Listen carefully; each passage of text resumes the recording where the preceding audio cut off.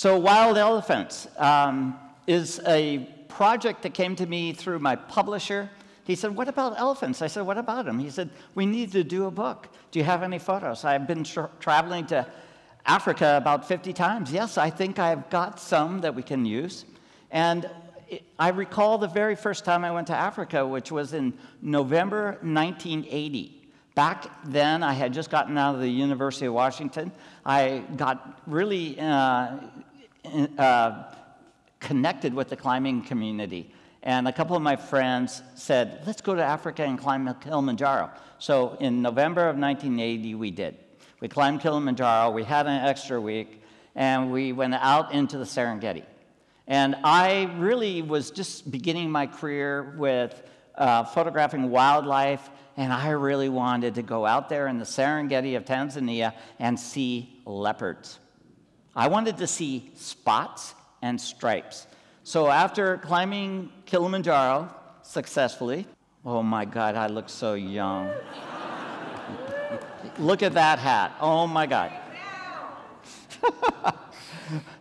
So over the, uh, you know, we went out there in the Serengeti, and yeah, leopards, cats, anything sexy, not big gray animals. That's really what I was after. You know, I, I grew up watching Walt Disney, like many of you, and how do you do a book on an animal that looks identical from very young and to very old, and they're basically one color, which is gray? How do you fill a book, let alone a talk, about these creatures.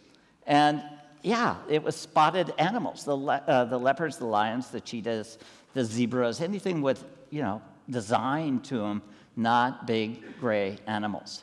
But the more I traveled, not only on that first trip to Tanzania, but on all the subsequent trips, I started to realize it was the elephants that had the personality that had the behaviors. They were never boring. They were never just standing still like anticipated. And over the years, I've had many great encounters and continue. I'll be in Africa twice uh, later this year, and I just love going back. But it's these charismatic, amazing animals that we're here today to talk about. And the more I looked at them, the more I, it's like they never are standing still. They're never just walking around. They're always engaging each other. They're in families. And uh, Sam, I'm sure, will be a little more uh, illustrative with his words than I am right now. So, as a photographer, though, you're trying to employ every trick you can to make it a full book. Not just portraits of an animal, not just behavior, not just adults and babies, but everything you've learned to do over what have I done, Libby? How many books have I worked on over the years? Too many to even remember. But these elephants always have been part of other books. I've done books on Africa, books on behavior, books on camouflage, and I've even included elephants in those books on camouflage. Uh, this uh, photograph was taken in the Ngorongoro crater of Tanzania, and some of the largest elephants left in Africa with their amazing ivory are in this crater that's 12 miles across. And it's got this natural a border from which these elephants go up into the hillsides around, but they always come back down into this beautiful crater. And so, seeing some of what used to be very common in Africa is amazing to see. The trunk has many, many muscles, and they can uh, just maneuver it around. They use the elephant uh, trunk to communicate, to uh, touch each other, to uh, play with each other. And so the trunk becomes one of those elements of the animal that is first and foremost that I think about. And obviously, they can reach up and grab branches. So, a lot of this was shot over many of the countries in Africa. I've been over the years to about 21 different African countries. And most of those countries I've been do have populations of elephants. So this is in Amboseli at the foot of uh, Kilimanjaro, and there's just platoons of animals, uh, elephants that come down out of the forests on the lower slopes of Kilimanjaro. They come out across the plains with a routine that you can predict. They come out to these water courses that the water collects at the base of this mountain. All the rain that, and snow that falls on the mountain just um, filters down into pools and canals in this uh, very arid environment. But that's what these elephants are moving towards with regularity. And that is something that I also should talk about is that there's a predictability of elephants. They follow the same paths. And as I shot this shot and as they walked by, one thing also is really startling if you've never been around one is the fact that you could have an entire herd of elephants walk past you and you cannot hear them, which is amazing to think about. They literally walk silently. Have you noticed that as well? Yeah, on their toes. Yeah, their, their pads and the distribution of weight on their very wide feet, they literally walk without sound.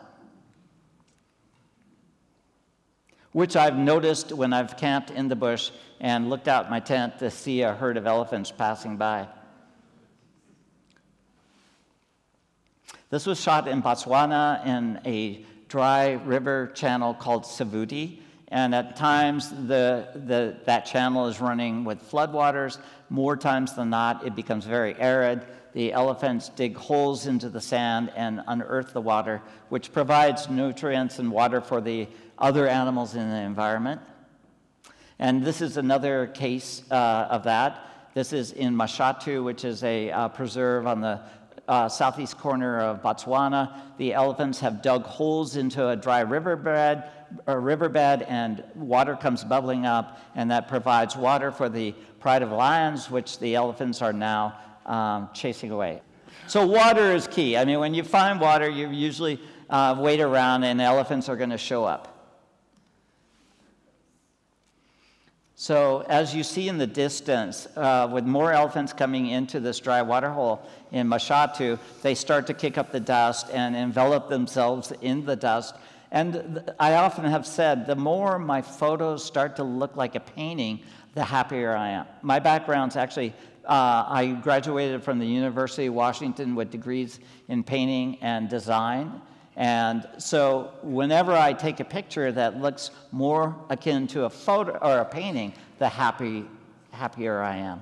And so this is one of those shots taking advantage of the atmospheric conditions that the elephants they themselves have created. I'm happy with that shot. I'm very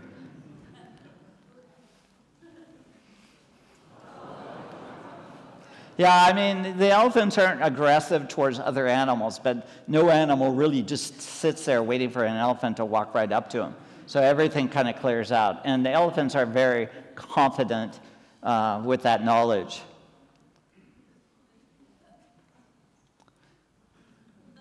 The warthogs, the cranes.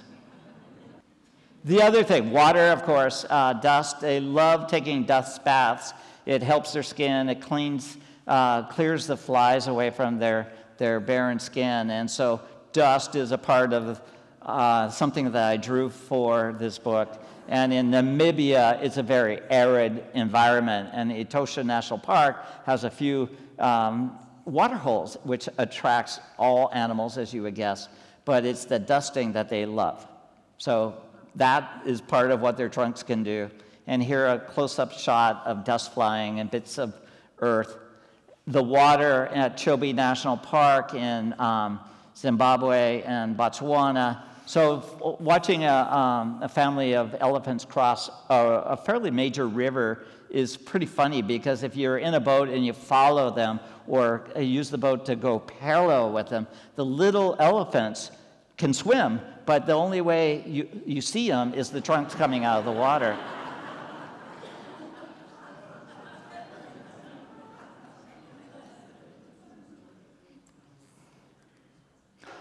So once I knew I was doing a book on elephants, uh, I traveled with a friend of mine from South Africa. We went to this uh, a reserve in southeast uh, Botswana, and this friend of mine is fairly uh, aggressive. He sunk a container, a metal container, and then dug a well and created a pool of water right in front of the container. And you can get in the container. He cut out an opening in the container. An elephant herd could walk literally over the top of you, and it's not going to crush you. So you're reasonably safe. The water is right in front of you. And with a wide angle lens. We spent a, a couple of afternoons as herd after herd of elephants come in. And at that point, you put away your telephoto lens, you put on a wide angle, and everything's right in front of you. And the later the day uh, went, the more dramatic the light became. These elephants are very aware that we're there, and yet they are not fearing us, of course. They aren't necessarily happy that small creatures are close to them, but since they can't do anything about it, they just forget about you and that is when the magic happens. That's when the behavior, the relationships between the elephants occur, all within just a few feet of you. So, this is late in the whole game of doing the book that I had this amazing access with these amazing creatures. And of course, again, they know you're there, and yet they would put waves of muddy water towards you. And we were literally jumping out of the way as waves of water were coming in. By the time we left, that container had about 12 inches of muddy water. Our cameras, ourselves were covered in mud, but we got the shots, and that's what's critical. And just having that kind of perspective and access to these wild elephants is a lifelong memory just to see how they love that. And again, this water, this pool, was man made in a very arid environment. So it's a classic case where wild animals are being uh, taking advantage of somebody's idea and very well received. So I think it was important to show these photos prior to Sam's um, more sobering account of what's going on in elephants so you have a better understanding that these are not, as I believed at one time, big, gray, simple animals. They're full of behavior and relationships and passion and intelligence. And once you're around these animals, it's unequivocal. And this was one of my favorite shots. Just this baby is leaning against her mother. And it's just literally just a bit beyond where I am sitting to Sam that this is being revealed to me. What a privilege to see that, to capture that on film. Meanwhile, we're getting covered in mud.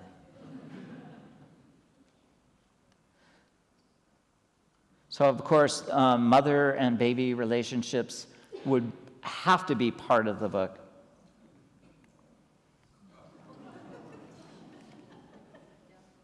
In Namibia, again, in a very arid environment, in the middle of the heat of the afternoon, everything comes for a drink.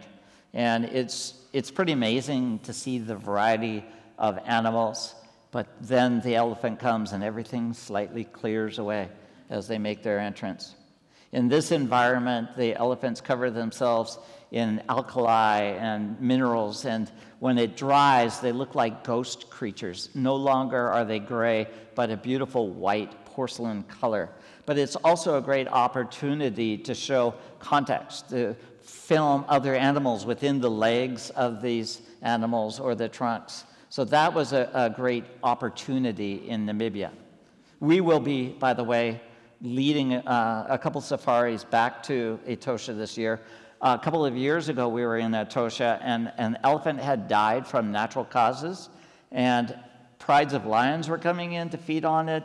There was probably somewhere between 30 and 40 uh, jackals, which are uh, small, you know, predatory animals.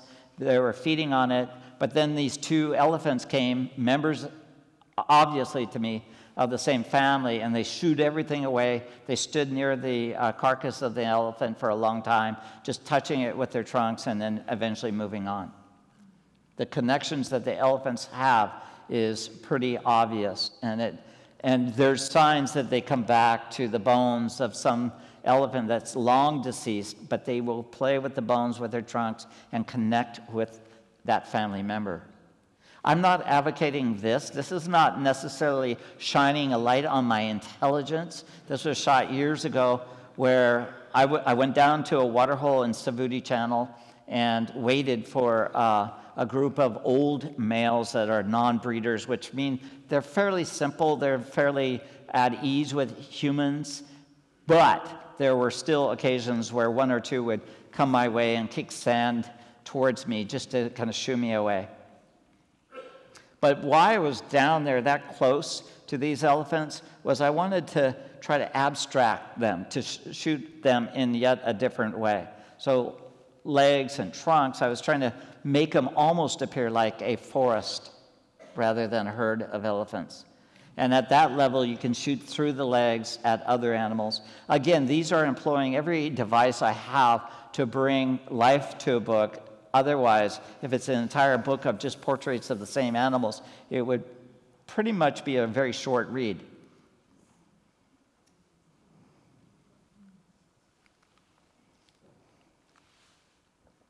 Bisa oryx are one of the more charismatic animals of Namibia. I heard a couple of years ago that there were uh, three orphaned elephants, and I wasn't entirely sure how they became orphaned. Perhaps it was poaching. This was in Botswana in the famous Okavango Delta. And that two, a husband and wife biologist team, kind of took on these elephant uh, offspring and raised them in the wild, fed them, nurtured them, but also allowed them to run free. And these three elephants uh, became adults and roamed freely in the natural uh, forest of the Okavango Delta. I found out about it. I went there and I asked them that that pond over there, if I got in that pond up to my neck, could you actually call those elephants out of the wild? And they said, Well, um, yeah, maybe we could do that. And I said, More importantly, if I was up to my neck in the water with my camera and you called them into the river or into the pond, could you make them stop? And they said, they said, Well, we're not sure about that. And I said, Okay, good enough, let's try it. So this is the shot. This is with a 16 millimeter wide angle.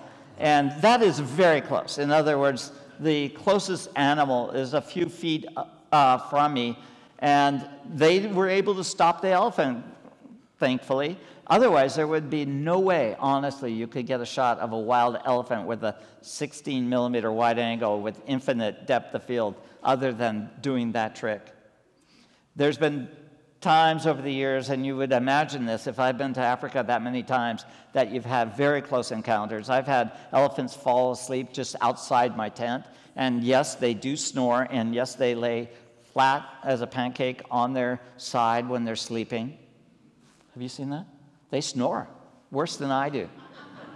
so you wake up and you kind of stumble out of the tent, and you may be face to face with an elephant this is uh, shot in Chad. It's a country of North Africa, just on the southern end of the Sahara. It's surrounded by unsavory neighbors from the Sudan to the Central African Republic and Nigeria to the west.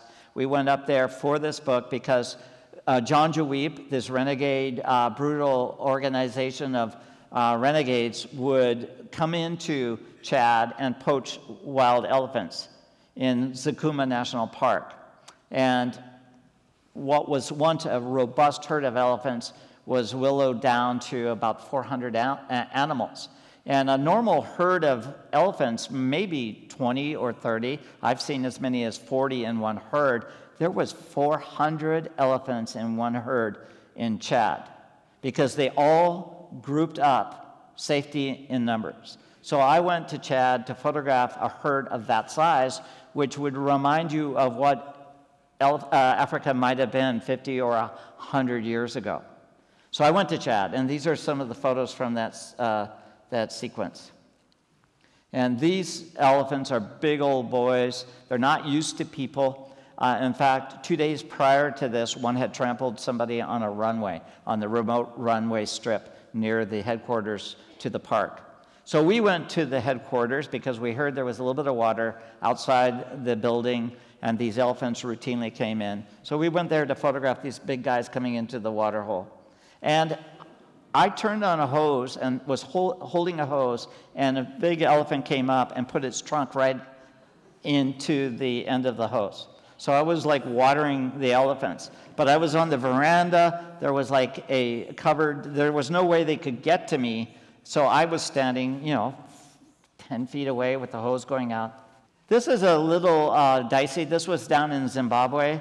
I, had photograph- I was photographing this mother that had a baby, and I was talking fairly loud, so it knew I was there. And suddenly I walked out beyond a fallen log, and my profile was really exposed, at which time this mother came charging at me. And these are the shots I ran quickly back behind the, uh, the log, and it struck the log with such force that it sheared off a very thick branch that went flying over my head. And the immediate thought that I had that was this animal was outside of the park at some time in its history and had a very negative altercation with humans because its reaction was so fast and it was stunning to me because I've been around a lot of elephants that seem fairly chill. This one was not so chill. So elephants uh, tend to herd up in circles, uh, especially breeding herds. They protect their babies.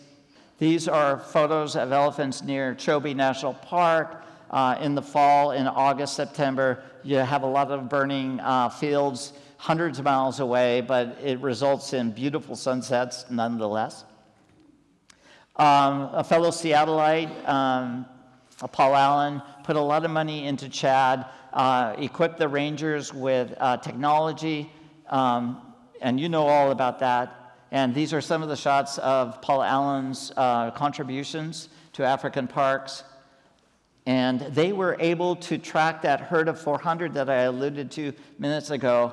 And they, um, he also hired the black mambas, equipped them with automatic rifles, and poaching basically came to a stop. And so much so that by the time I got there, the herd of 400 were having a lot of babies. And the year after I left, they were starting to break up into smaller nat- more natural families. But these were shots that I gave to the park, and they would scrutinize all the photos and count the babies. And elephants were coming back in this beautiful national park in Chad. And photos that I had grown up watching uh, Peter Beard's work, a photographer that did a lot of great work in East Africa. You know, 20 years before I ever picked up a camera, these are photos that are very similar to what I saw he had shot earlier in the century. Simply put, and uh, Sam will reiterate this, it's just unfathomable to me that we could live at a time where we put man on the moon. Can we not save this most charismatic of animals?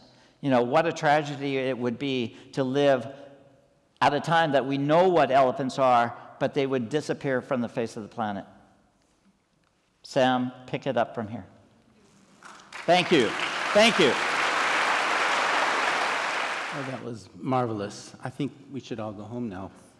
Uh, I'm going to talk a little bit more uh, doom and gloom than um, what um, Art described. And it was actually kind of a challenge writing the text for this book because Art's photos are so beautiful, and I had such a harsh story to tell. And then I realized that, you know, it's really important to see how spectacular of animals these elephants are so that you can fully appreciate what's happening to them. And part of this is that elephants are incredibly intelligent. They, they, have the largest brain of any land mammal.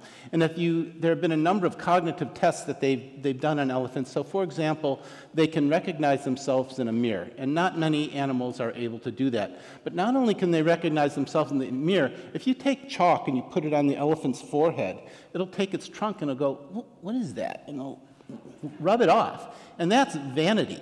That's something that only great apes and people have. Um, they also have, have looked at um, the genes in elephants for energy metabolism in the brain, and they found that they have a higher density of those genes than do people. And if you have an active brain, you need energy. So, all this talks about how incredibly smart elephants are. And that's very, very important to think about when you consider what's happening to them. Also, Art did a beautiful job talking about how social these elephants are. They, they are, family is so important to these animals. They, when, when you see them in a place like this, where they're playing in a, in a river course, they'll play there for hours, and you'll have little babies in there with full adults rolling all over each other, and nothing happens to them. They're, they're so carefully monitoring the babies. And the sisters, whenever there's a problem, the sisters will run in and take care of them. So, family is incredibly important to these animals. As Art mentioned, they also are very, very aware of death. And during the 20 years that I was running a field site in southern Tanzania, when a lot of the poaching was at its peak, we would collect skulls from elephants and bring them back to our camp to age them. And we had skulls of other species too. And the elephants would come through at night and they would just take their trunks and inspect every single inch of the elephant bones and skulls. And then they would just go right over the giraffe and the buffalo. They, they didn't even care about it. And I, it's funny, this uh, last year I was on sabbatical and I was in uh, Samburu National Park, where um, very famous area called uh, where Save the Elephants uh, is um, underway. And, and at that field site, they had radio collars on all of these elephants that they used to monitor them. And they had the old radio collars lined up on a post uh, that have come off of elephants that either died or, or um, the battery needed to be replaced. And in the evening, the elephants would come and they would smell each one of the collars, and then they go, Oh, I know this guy. And they'd pick it up and walk away with it. So it's pretty remarkable how aware these elephants are. They're intelligent, family matters, they're so aware of death. And so you can imagine when something like this happens. When a baby's mother is poached right there and its face hacked off and the rest of the group is sitting there. These elephants get PTSD. And it's not surprising. They're smart. They love family. They understand death. And here, this kind of travesty is going on. And this is really what compelled me to do the kind of work that, that I do. So, when you think about all this, and then you think about, well, how many elephants are being killed? Well, remarkably, there are 40,000 elephants being killed each year by poachers. And there's only 400,000 elephants left in Africa. So that's 10% of the population being killed in a year. And this is a serious problem. And what it means is that we really need to stop the killing. We need to figure out how do we put this thing to rest. And that is really what the primary focus of my work um, is up to. When you look at the scale of this problem, you see that this is a transnational organized crime. It's the, the illegal wildlife trade is the fourth to fifth largest transnational um, crime in the world. That means that it's up there with narcotics trafficking, human trafficking, cybercrime, um, you, you, name it. And, and so it is quite a serious problem.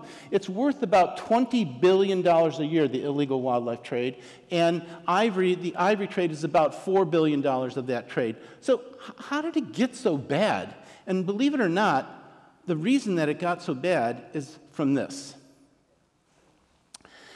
The ships that you see in the ports across Seattle carrying these containers are incredibly important for commerce. And transnational criminals of all types, not just wildlife um, traffickers, have capitalized on this because there are 1 billion containers moving around the world each year. And that means that customs and even the most sophisticated ports can afford, can, can, are able to inspect about 1 to 2% of these containers. So that means that all you have to do if you're a transnational criminal is get your product containerized and get it past customs and there is a very, very low probability that your container will get caught. And some of these, these seizures, the, the, the, minimum value of the seizure that we look at in this work is about a million dollars. It's seizures that are at least a half a ton, 500 kilos worth of ivory. And so you could imagine these are traffickers that can actually afford to lose a million dollars if someone catches their, their shipment. Well, how is that? Well, chances are they got 20 more shipments through. And so that's really been the challenge is when you've got all of this, this, this trafficking going on and you just got to get it past customs, which you can easily pay a customs official off, how do you deal with this problem? And so what we tried to do was to develop ways of getting intelligence information on how these transnational criminals are operating so that we can attack the trade and keep it from getting into transit. Because once it's in transit, it's just pretty much a lost cause. And so that's really the main focus of our work. To do this, we try to figure out what is the source of the ivory, where is it all being poached, and who's exporting this ivory. And so, how do you do this? Well, one of the things that we um, tried to do is to get a genetic map. We developed a genetic map of elephants across the whole continent of Africa. And essentially, this, we did this by using elephant dung, their poop. In fact, I have poop from every place that Art talked about in um, here. We have samples from over 3,000 elephants, and each one of them we get DNA from, and a large different amounts of DNA, the same kinds of DNA that the FBI uses to track criminals in their criminal database. And we've essentially made a map of African elephants for forest elephants, which are a separate species from savanna elephants. And um, we, so we have maps for forest elephants, for savanna elephants. And then when there's a big ivory seizure, and this is ivory seizures that are uh, so when I say a seizure, by the way, I'm meaning you seize the ivory as opposed to the ivory had a seizure.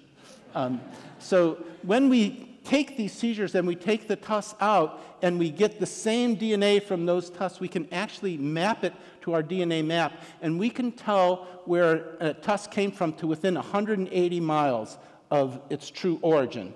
And when you consider you can put five United States in Africa, that's a very, very high precision. So we started looking at all these large ivory seizures. Again, it had to be a minimum of a half a ton of ivory, and 70% of ivory seizures are a half a ton or more. And those are ivory that those are seizures that are worth a minimum of a million dollars. So these are the transnational criminals that are doing the most amount of damage to the population. And when we did that, and we started to accumulate seizure after seizure, we started to see the same places popping up over and over again in terms of where the ivory was being poached from. And indeed, uh, the, the other challenge that we had to do had was to, how do you sample these seizures? So some of these ivory seizures have 2,000 or more tusks in it. And it costs a lot of money to analyze a tusk. It's about $100 a tusk to get a full genotype on them. So we had to figure out a way to representatively subsample the ivory. And the first thing that we did was we would measure the diameter of the tusk at the base where it leaves the jaw, like you can see here. And that's very symmetrical between the two tusks. And once we did that, we would then lay all the tusks out from the smallest diameter to the largest. And what that does is it makes it likely that the tusk is next to um, something, next to its, its other pair, the other tusk in the pair. But still, it could be uh, there, there, are plenty of other tusks that are going to be the same size. So then we walk along all the tusks and we try to find one, ones that are the same color and make sure that they're next to each other. Because if you look at the pairs that you see here, uh, this tusk right here that's orange, there's no way it's a pair to that tusk that's white. So you move it around so that you're next to the tusk of the same color. And then the last thing you do is you look for this gum line right here. That's where the tusk leaves the lip of the elephant. And that's perfectly symmetrical in the two tusks. So once you have aligned all those out, then you can see who the pairs are and you put one aside so you don't analyze the same animal twice. Now, that's going to become important to the story a little bit later. So, once we've done that, we then randomly take about 200 tusks out. We cut a little square out of the base of the tusk, and then we take that back to our lab. And then that square, we get most of the DNA is at the bottom level there, so we cut that off and we put it into um, a machine into a, a, machine that has liquid nitrogen and gets the ivory brittle cold. It, it freezes it to about minus 250 degrees Celsius. And then you have a magnet inside the tube where the ivory is, and you shift that magnetic field back and forth about 10 times a second, and it comes out a consistency of baby powder, like you see here. And then we can extract the DNA and compare that to our map. So that's kind of the, how we go about doing this work. And when we did this, we kept analyzing seizure after seizure after seizure, and we were shocked to find that virtually 100% of these large seizures that we were getting was coming from just two places in Africa. 78% of the ivory was from savanna elephants and was coming from East Africa, an area focused largely on Tanzania, but going from southern Mozambique, um, he, from uh, southern Mozambique um, up through Tanzania into uh, uh, northern um, Africa. So, so this was a very important finding because essentially poaching is going on all over Africa, but we were able to show that it's consistently, these big transnational criminals are working largely in these two places. And I'm very, very proud to say that we kept going back to the United Nations and other, other entities and saying, look at what's going on here over and over again. And this year, for the first time, poaching in East Africa has significantly declined. And it's largely because of this work and work with others like me. Wow. Thank you. Wow.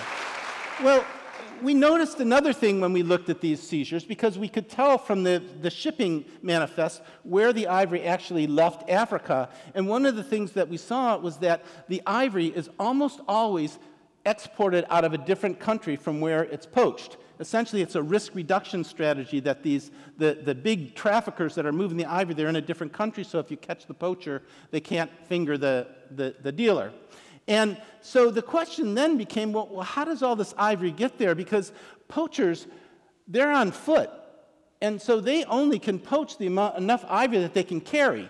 And what we then realize is that essentially you have a system where you've got many, many different poachers operating in an area, in many different areas, but within a big protected area. And essentially, these guys, as they get their ivory, middlemen come up and they come in and they buy the ivory from these poachers. And once they have the ivory, they then move it up to the neighboring country where it gets consolidated. So, for example, middle, these middlemen will commonly move the ivory from southern Tanzania up to the port of Mombasa that you see there. Um, but sometimes, after a while, the port of Mombasa got too hot because too much ivory was going out of that area. So then they shifted to move it up to uh, Entebbe, Uganda, that you see there. And Entebbe is, um, they don't have nearly as many elephants in that part of Africa. And also, it's not a, war, a seaport. So, who would suspect that ivory is going to be moved out from there? But then, once it's in a container and they move it to Mombasa to send it out again, now it's already in transit. So, Mombasa doesn't have to worry about it anymore and it goes out. And what's interesting is that we find that in most cases, um, this is all going to one major transnational criminal organization. So that's a really important finding because essentially it's saying that, you know, there, these big traffickers moving out multiple tons of ivory, there's not a lot of them. And if we can find them, these are the guys doing the most amount of damage, then we can really start to do, have some impact. And when we did, um, one of the things also, sorry, that's very, very important about this is that, so, so you imagine this ivory is moving from the poachers through the middlemen up to these ports of export. But I said that they're poaching the same areas for years and years and years. And one of the things that we have been able to discover is that these same transnational criminal organizations have been operating in this area for this entire time. And they are essentially the money that is fueling these poachers. They are providing the ability for these poachers to keep doing what they do in these same hot spots because they're providing the bullets for them to kill the elephants and the whole network to move the ivory up to their coffers. Hmm. Well, when we uh, started to realize how important it was to be able to get these transnational criminals and trying to figure out how could we do this, we then had a breakthrough. So you remember I talked about matching the pairs of tusks in these seizures. We were sampling the tusks in these large seizures, and one of the things that we noticed was that over half of the tusks didn't have a pair. Only one of the two tusks from the elephant was in the seizure. And we thought, what is going on? Where is the other tusk? So, what we decided to do was to see well, by this time we had over 60 large ivory seizures in our lab. And we thought, well, maybe the tusk from the other tusk from the elephant is in another seizure. And we started to look between seizures, and literally, it took us about two hours to get the result. And we found numerous matches where the two tusks from the same elephants were essentially shipped in separate seizures. And essentially, what was happening, we realized is that when this ivory was moving from the poachers through the middleman up to the transnational criminal organization, the tusks get separated.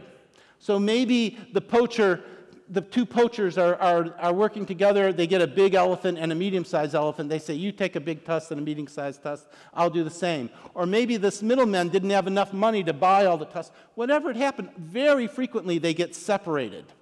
But because you've got this one big transnational criminal organization driving this whole thing, those two tusks still end up to, at the same guy's place. Just at different times often, and then they get shipped in separate shipments.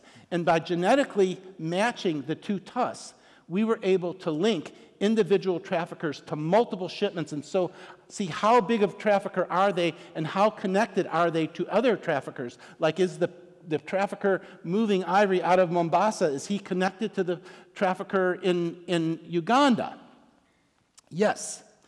And then the most exciting thing happened that we um, were able to put down the biggest and most notorious ivory trafficker in Africa.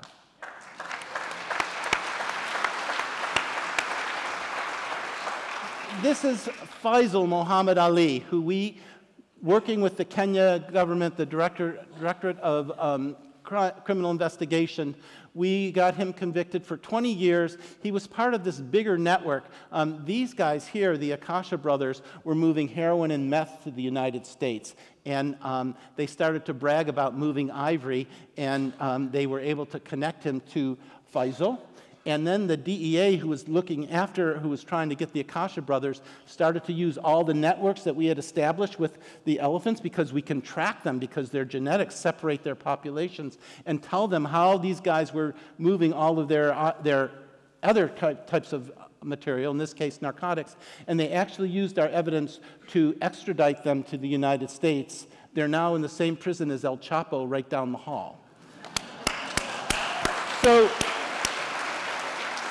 that was really exciting. And then Faisal got acquitted. He was in prison, prison after just two years and he got out. We were horrified. And he got out because there were so many irregularities. So you're dealing with the, he, these so much corruption in this case. Just to, to give you an example, so they, the, the ivory that Faisal was, in the seizure that Faisal was convicted for, was in a big warehouse, the, the biggest automotive warehouse in Kenya. And um, when they, they had in there the vehicles that moved the ivory, and, and um, uh, when they went to go inspect the evidence, the vehicles that were there were stolen. So that was one bit of evidence that, that was missing. Um, some of the seizures that we had also connected him to got stolen out of customs. And then the magistrate decided that they wanted to take the prosecution to visit the crime scene. They got there, and the biggest automotive dealership in Kenya was leveled to the ground. No evidence. So you could see how vulnerable this case became because they tried him on only one case, and that was the big mistake that they made. Um, so what, this is a little bit complicated. Don't get lost in the complication. Essentially, each one of these figures is, is a, is, shows you a, a seizure that we had. Um, so, and, and um, what I really want you to see, so these are all different seizures, where they were made and when. And what I want you to notice is when there are arrows connecting them. When there are arrows connecting them, that means that the two tusks from the same elephant were in, were in two separate seizures. There was a tusk in here from the same elephant as, and in there. And so that's how we link them all. And you can see all of these are connected. The, this whole network here is all Faisal. We connected him to 11 different ivory seizures. But what's interesting is these ones down here, these were all ones that there's no arrows connecting them. And we expected that there should be arrows there because, because they all come from the same ports, which is what these solid uh, circles are showing you. You can see they're all coming from the same port. Same ones as up here, too. And you can see that where the ivory came from is very similar to where the ivory came from here. They were all close in time, but there weren't matches. And we realize that the problem is that we're probably missing a lot of these matches because you imagine you've got these two tusks from the same incident, the same animal being killed. They've got to get separated. They've got to end up at the same guy. They've got to be shipped in separate seizures. Then we have to get access to those two seizures and sample them. And we can only afford to sample about 30% of the tusks from each of those shipments, which means that you have a 30% of 30% chance of getting both pieces in your lab to even match, a 9% chance. Well, many, many matches are missed. And what was a problem was that this is the seizure that Faisal was tried for. These are the two seizures that were stolen. Um, and because he was, Faisal was tried for this only one seizure, that left the whole case incredibly vulnerable and it fell apart and he got acquitted. Well, we then realized that there may be a better way. And when you're doing this kind of work, it's kind of like an arms race where you've got to stay one step ahead of these transnational criminals. And what we realized is that we could actually take advantage of the fact that female elephants stay in the same family group throughout life. So we realized that we could do what we call um, familial matching, where essentially we take the tusks from parents and offspring and full siblings and half siblings, so just really, really close relatives, and to match their tusks between different shipments. And this is actually a tool that has started to get a lot of attention actually in the human forensic world. It's a bit controversial, but essentially, you know, if you get DNA from a crime scene and you match it to the FBI's criminal database and you find it's not a perfect match, but it's a very close match, chances are it's a close relative because crime runs in families. And then you can look at the genetics of these other relatives and you can, you can um, hopefully find your perpetrator. And some very, very serious mass murders have been caught this way. Um, again, it's very controversial, but for elephants, it's not controversial at all because it's, it's, it's really an issue of looking at are there relatives found in these separate shipments? And when we did that, we found a huge number of matches because if you think about it, so you've got one elephant, well, he's got two parents, so that's four tusks that his two tusks can match to already. Then he's got all his sisters, and, and then you've got within an area of 100,000 square kilometers where they're poaching, there's all those other families just like that. So if they keep going back to these same areas over and over again, there's lots of opportunities to do this familial matching. So what we did was we took every single tusk that we had genotyped in our lab. There was about 7,000 of them distributed from 65 large seizures, and we compared every single tusk to the other tusk. That's 50 million comparisons that we made. And we looked to see did, did they cluster in a certain way, and we created these heat maps that you can see here that essentially show us how much matching there are. So this is this key right here is saying how many matches of parent offspring, full siblings, and half siblings you get. And you can see a really dark square like that means that there are 60 familial matches in this seizure right here that match this seizure down here, or essentially these. Th this is uh, all the names here are the same as the names here. So essentially, this seizure here has, has almost 60 matches to familial matches to that seizure. But what's really important about this is if you look here, there's a square here that's all darkened. Okay? And those are all where all the familial matches are clustered. Well, let's look a little deeper there. And so remember this, this um, network that I showed you. And essentially, when we looked there, we found that this is the seizure in blue that uh, is Faisal right here. You can see this line? And we connected him now not to 11 seizures, which was the case before, now to 35 seizures. And when we looked at all the other different seizures one at a time, we see that this seizure here, which is the most common one, made in uh, most has the most matches, and we're going to go from most common to least. And you can see that when I uh, highlight it in blue, I'm showing you also where it was on this map. And as you go down, you can see that every time we get, a, we got so many different matches here, familial matches in that whole network, including ones that we didn't get matches before. And you go through, and essentially, we hit every single savanna elephant match uh, seizure that we thought was in this network. We match them all to each other. So now we're building a very, very strong case against Faisal. Now, you may say, but Faisal was already acquitted. So, what difference does it make? Well, fortunately, Kenya does not have a statute of limitations, which means we can retry him for these.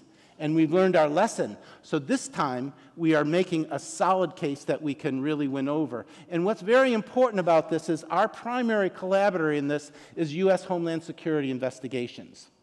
So, Homeland Security investigations, that's part of Homeland Security. They're not the ones doing the immigration part. Um, they're really out to get transnational criminals. There's 250 agents around the world. And what's really wonderful about these collaborators is that they have unique authority to get into the financial records of these criminals. So they're the only agency in the United States that can actually go through, and as long as there's some exchange using US currency, they can get deep into the financial records. And now we can bring down someone like Faisal for financial crimes, just like Al Capone was brought down for, for um, tax fraud. And that's what we're doing. Because essentially, all of these connections that we are creating by linking these seizures to one another, we know where it came from, we know where the shipping routes went from the shipping manifest, and we know that all these different shipments are all part of this bigger network. So we are creating this roadmap for financial crime investigations so that when Faisal goes back to prison, goes back to court, we will hopefully get him on a corruption proof uh, sentence. And what happened right when Faisal was put into prison, we started to see a new modus operandi of these traffickers. And what was happening was that the poachers were, the, the traffickers were taking teak logs. Now, teak, you know, is very expensive wood. And they were hollowing it out. And then they were cutting this tuss into sections, and they were putting it inside the hollow teak logs, embedding it into paraffin, and then sealing the logs so that you couldn't tell that there was anything in it. And the reason they did that is if you x ray it, it would look solid. And so someone was putting a lot of money into trying to conceal their ivory um, to, to figure out a new way of getting their, their ivory through um, uh, to their, their final destination. So we had three of these cases here immediately. This one seized in Vietnam that went through Uganda. This uh, middle one uh, that, that started in Mozambique, it was seized in Phnom Penh, Cambodia, but it went through Uganda where it was likely packed. And this other one that uh, went from Uganda through Mombasa, and um, again, um, all of them in this paraffin. And then we got a seizure in West Africa, in Cote d'Ivoire, in the Ivory Coast. Same modus operandi. And all of a sudden we went, wow, we're dealing with a much bigger network. We're now connecting East Africa and West Africa. And these pictures, believe it or not, are from the trafficker's cell phone. He photographed everything. And so you can see here, he was actually, this is in his house, where he was actually hollowing out the logs and packing them. So you can see here the hollowed logs. He's got the ivory cut into sections where he lays it in there, and then they seal it with the paraffin, put the logs on. Those are the finished product right there. It's unbelievable. Can you tell? And then they go and they, it's in these containers, and when you open up the containers, we could see how they packed it. They, these are those logs that you saw in his house. And then they go and they push, so these have the ivory in it, they push them to the back. And then they take these pallets of thinner boards here and they put them, they load them into the truck, and then they snip the cables that held the pallets together. So if you x-ray it and you see that the ivory is in there, you have to pull out one board at a time. And most of the customs people go, I'm not going to go there. And so it's quite clever how these guys are operating. And when we started to look at this whole network, these are the first three ones in hollowed logs that I talked about. And I just want to show you how many of them we connected. Here's another one in South Sudan, another one in Uganda. We found two tusks that were an identical match from the Sudan and Uganda seizures. Um, and then um, this uh, seizure here, they were monitoring the cell phones of, this, of these guys when they caught them, and they, they learned about another seizure in Nairobi. By the way, Faisal's in prison now. And, but not, not right now. At the time, this is now oh. he's walking free. So take that back.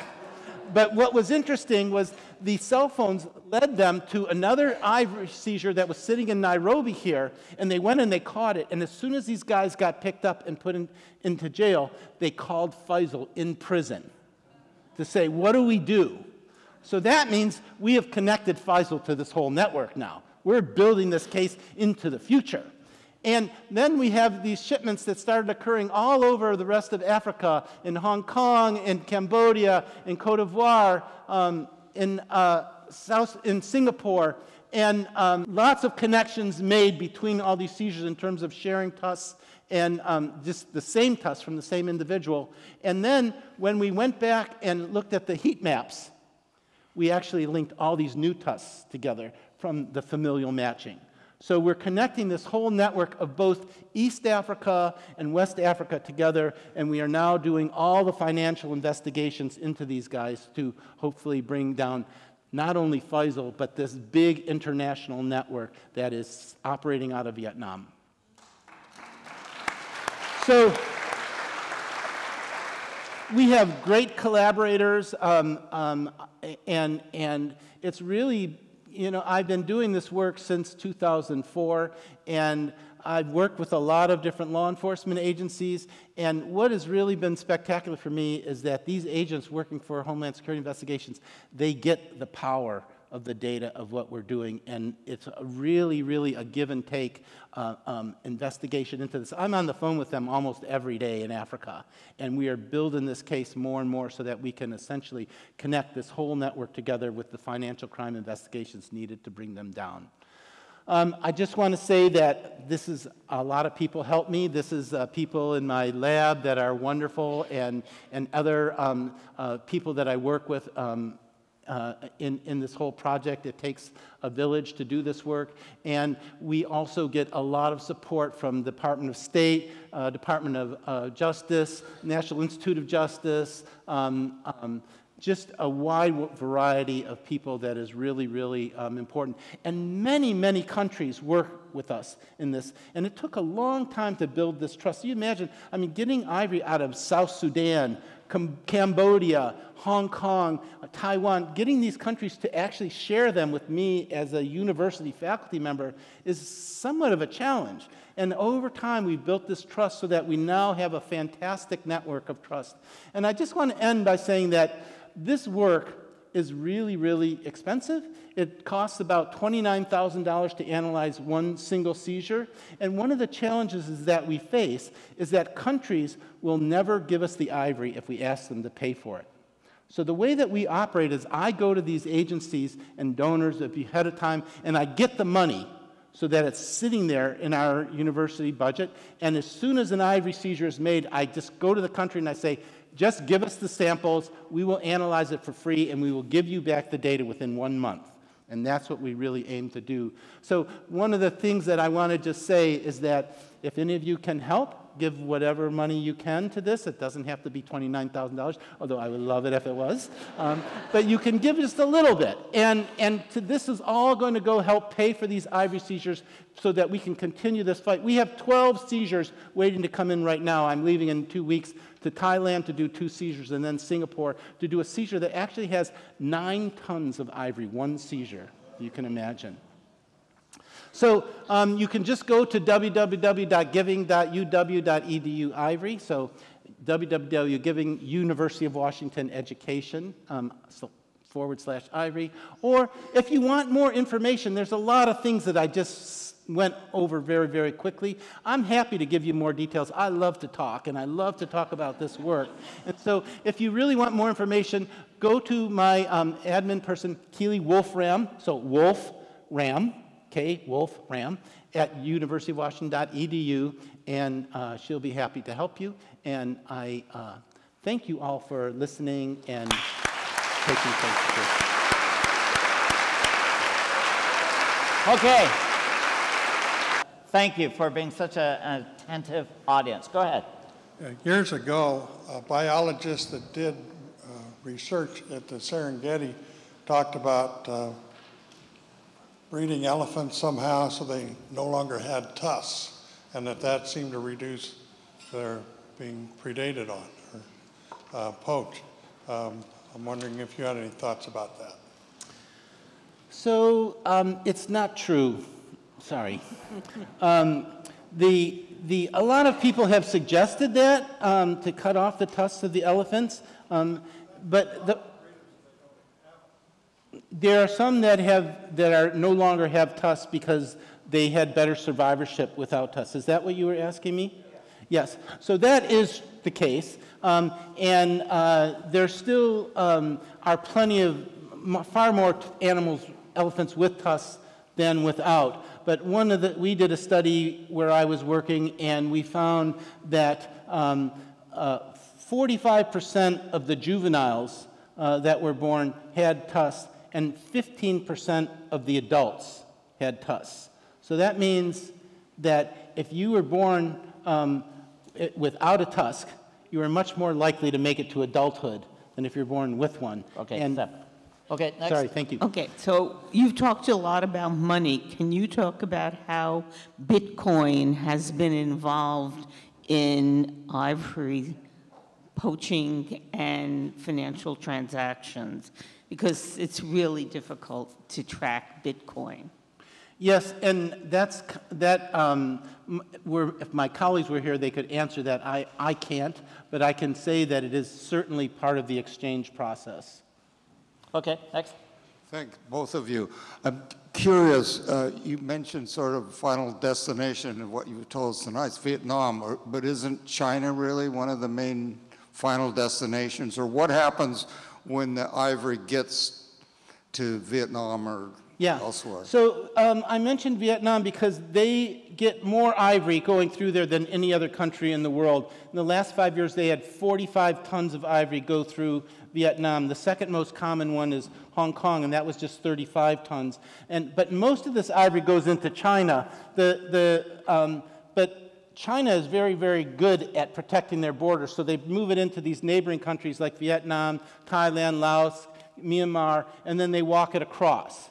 Um, but over the years, these big traffickers operating in Vietnam and other places, they've made a lot of money, and now they're starting to be their own investors. And that's really important because most of these seizures that we get are whole tusks. They're not the little trinkets that you see in the market. And actually, what happens is these big investors are buying up these whole tusks and they're keeping them and they're stashing them like an investment, and they're banking on elephants going extinct. So then it'll become legal to sell ivory, and they'll have it all. That's just horrific. So yeah, China is very important. U.S. also is a very big market.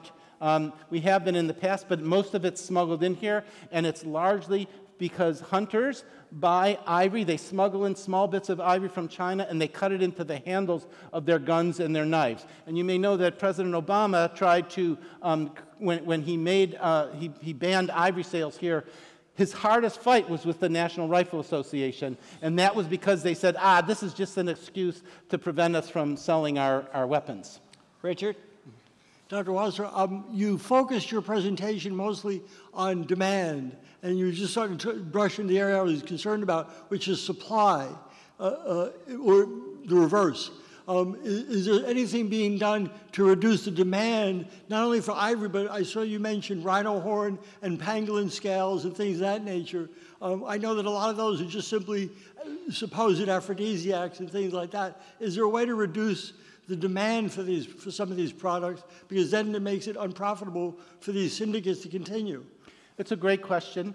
And there are, there are, there are um, national, there are, there are groups that are spending millions of dollars to try to reduce demand, making fantastic videos for people to, to understand don't buy ivory. People in China, most people buying ivory, they don't even know, you realize you have to kill the elephant to get the tusk. And so shrinking demand is extremely important, but that is a long term solution. We need an urgent solution too. When we're losing 40,000 elephants a year, if we think that we're going to stop this problem by curbing demand, that's just not going to happen. We have to do both. And as soon as they start seeing that the demand is going down really quickly, what's going to happen is these poachers are going to kill every last elephant they can so that they can essentially uh, sell their ivory before the demand goes away. Okay, three uh, quick questions. I see people leaving with their books. We have to sign. If people have bought books, go ahead, please. Hi, Dr. Sam. Hi, Sister Sarah. Hi. Um, can you give me some perspective on your 40,000 elephants that are being poached every year or killed every year? So take that, that $1 million unit that you were talking about. How many elephants does that represent? If that's a, that's a container, right? That's a great question. I'm so glad you asked that. I, I could have even asked you to ask that. So, how do we figure out that there's 40,000 elephants killed? Well, on average, each tusk weighs about five kilograms. So that means two tusks weigh 10 kilograms. So So 10 kilograms of ivory is one elephant. They are seizing about 40,000 kilograms a year, but that's 10% of what's smuggled. So the calculation then becomes one kilogram of ivory is equivalent to one elephant killed. So that's how you get that. Kilogram, a kilogram, 2.2 pounds of ivory is equivalent and is equivalent to one elephant. Go ahead. Hi, so my question kind of dovetails on the question about demand. Um, is there any reason, um, and if so, if you can explain why we can't um, just flood the market with 3D printed fake ivory tusks and, you know, just fake them all out? Because poaching is, is that's, that's, a, that's a lot of work. Um, you know, uh, the mammoth tusk that's in like Siberia when the permafrost melts, is there, is there a way to just fake it? We make lab-grown diamonds. It's very, very hard because, because um, first of all, nobody has really been able to, to, to synthesize a tusk very well. They have rhino horn, actually. But, but people really want the real deal. And the other thing is that, is that, as I mentioned before, once you start flooding the market, the, the whole idea is that if you can flood the market, the price will go down, incentives to poach will go down. But these poachers, and especially the major traffickers, they are going to go and they are going to wipe out as many elephants as they can, as quickly as they can, so that they can make their profit before the elephants go away. And uh, so those kinds of solutions, this, they, they, they are ones that make us feel good like we're trying to do something about it. But what we really need to do is we need to stop them from killing the elephants, and we need to get the main um, traffickers that are moving this ivory and put them away. Sorry, there were four people waiting. I was just sitting. Um, I wanted to ask about The Last Animals, this phenomenal documentary, which I'll plug real quick. Go on YouTube and watch the trailer. The film is called The Last Animals, and I was wondering if it's going to be playing anytime in Seattle. Thank you. Oh, that's great. So, The Last Animals is a film by Kate Brooks on my work and others. Um, it is, it's uh, from National Geographic, bought the film, and it's now on Hulu. So, if you go on Hulu, you can see The Last Animals, and it's a, a beautiful, beautiful piece of work, um, and I highly recommend it. Not that I'm biased. Thank you for your work, Alan. Um, why you see these um, pictures of large piles of tusks being burned and destroyed? Why is that a good idea? Why do they take them off the market? Because of, from a supply and demand standpoint. Well, for one thing, uh, it's giving, it's showing people that a country that doesn't have a lot of money is still saying that this is devastating our country. This trade is so bad that we are just going to destroy all of our ivory because it's a bigger issue. So it sends a really important message to do that. So, but, but that's not the only reason. The other reason that it's important is that countries, um, when they get ivory seizures, they, they stockpile it. So they get a stockpile, and, and they're also in these countries with elephants that are dying naturally. The only ivory that you are allowed to sell by the United Nations regulations are ivory that from elephants that died naturally in your country. Because if you make a seizure, you can't prove it came from your country, so you have no right to sell it. So why are these countries keeping, you know, hundreds of tons or, or tens of tons, and sometimes up to 100 tons of, of ivory when they can't even sell it? It gets resmuggled. And so you want to get rid of it. You want to get rid of it, and at the same time, you want the world to understand that elephants are worth much more alive than dead. And so we just want to get rid of all the tusks and essentially stop all future trade in elephants with no chance of new ivory getting on the market. Thank you. Thank you. Thank you. Thank you. That was excellent.